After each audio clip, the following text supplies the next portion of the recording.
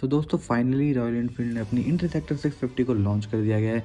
जैसे कि आप जानते ही होंगे कि बहुत टाइम से इसकी टेस्टिंग चल रही थी। मतलब कि इंटरसेप्टर 650 में अलॉय व्हील आने वाले थे राइट तो काफ़ी टाइम से रॉयल एनफील्ड इसकी टेस्टिंग कर रही थी एंड अब फाइनली इसको लॉन्च कर दिया गया है। एंड दोस्तों इसके साथ सिर्फ़ आपको अलॉय व्हील ही नहीं मिल रहे हैं। इसके साथ बहुत सारे अपडेट आए हैं राइट सो बात करते हैं उन सब के बारे में। एंड दोस्तों एक बात तो माननी पड़ेगी कि यार अब ये जो अपडेट आया ना इस बाइक के साथ तो उसने इसकी लुक को कम्प्लीटली चेंज कर दिया गया है। आप देख सकते हो कि कितना प्रीमियम लग रहा है तो बात करते हैं एक एक करके सारे अपडेट के बारे में। तो दोस्तों फ़र्स्ट थिंग जो सबसे मेन है, वो है इसके कास्ट अलॉय तो यस पहले आपको स्पोक व्हील मिलते थे इसके साथ, लेकिन अब फाइनली आपको अलॉय मिल रहे हैं। राइट क्योंकि यार स्पोक व्हील में जब आप ट्रैवल करते हो तो पंचर वंचर की बहुत सारी दिक्कत होती है।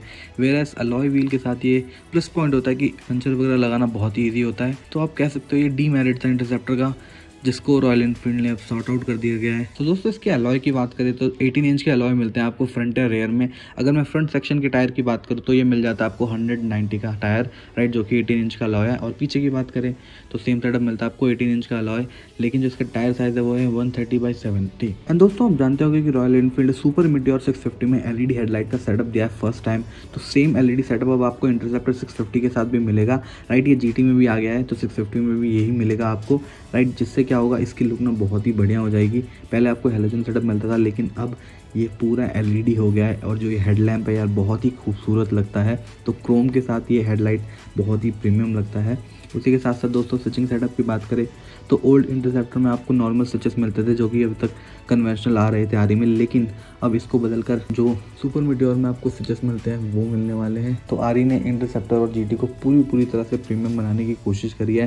तो जो भी उन्होंने आर करी थी नई नई सारी इस बाइक के साथ वो आ रही है। एंड दोस्तों वन मोर इम्पोर्टेंट थिंग जो कि आप जानते होंगे कि या जब आप इंटरसेप्टर पर ट्रैवल करते हो या फिर जीटी पर ट्रैवल करते हो या किसी भी बाइक पर ट्रैवल करते हो तो चार्जिंग का बहुत इशू होता है। तो उसके लिए आप बाहर से सॉकेट लगाते हो अपनी बाइक में, जिससे आप वायरिंग छिड़वाते हैं, काफ़ी प्रॉब्लम होती है। तो रॉयल एनफील्ड ने अब यूएसबी पोर्ट दे दिया है, जिससे कि आप अपने फ़ोन की बैटरी को चार्ज कर सकते हो ऑन द गो तो आपको ट्रैवल करते टाइम प्रॉब्लम नहीं होने वाली है, क्योंकि आपका फ़ोन आराम से चार्ज हो जाएगा इसके साथ साथ एंड ये काफ़ी अच्छा वर्क करता है मीटर थ्री फिफ्टी में हमने देखा ये काफ़ी अच्छा वर्क करता है, आराम से चार्जिंग हो जाती है इससे। तो ये एक प्लस पॉइंट है इसके साथ। इसी के साथ साथ दोस्तों, अगर हम सस्पेंशन की बात करें तो इसके साथ आपको गैस सस्पेंशन मिलता था।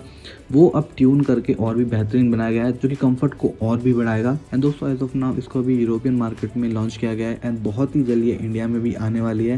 तो we are very excited to see कि यार कैसे चेंजेस होते हैं रियलिटी में, क्योंकि फ़ोटोज़ में बाइक डिफरेंट लगती है एंड रियलिटी में ऑफकोर्स डिफरेंट लगती है।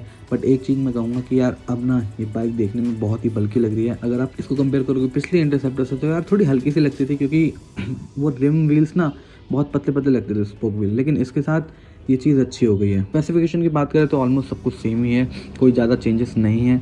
राइट सेम आपको पहले ट्वेन इंजन मिलता है फ्यूल एग्जॉस्ट के साथ। हाँ जिसका कलर है वो पूरा ब्लैक आउट कर दिया गया है। तो अब इंजन फिनिशिंग आपको ब्लैक में मिलती है। दोस्तों कलर वेरिएंट की बात करें तो दो कलर वेरिएंट में ये फ़िलहाल अभी दिख रही है। पहला है ब्लैक आउट एंड दूसरा है बारसोलोना ब्लू दोनों ही कलर बहुत ही खूबसूरत है। इंजन पूरा ही ब्लैक है।